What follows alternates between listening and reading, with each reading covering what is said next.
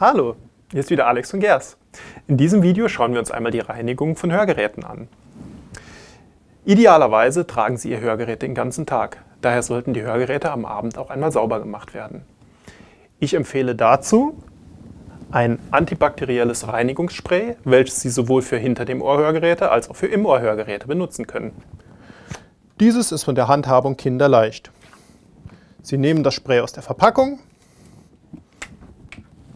nehmen sich ein weiches Papiertuch, sprühen drei bis viermal darauf und wischen das Hörgerät komplett damit ab. Sowohl der Teil, der hinter dem Ohr sitzt, als auch der Teil, der im Ohr sitzt. Als Alternative dazu bieten sich die feuchten Reinigungstücher im praktischen Spender an. Vom Prinzip funktionieren diese genauso.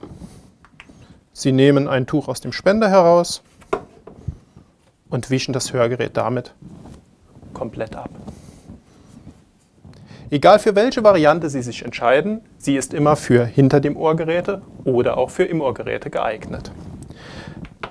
Unsere komplette Pflegeserie finden Sie in unserem Online-Shop. Vielen Dank und bleiben Sie gesund.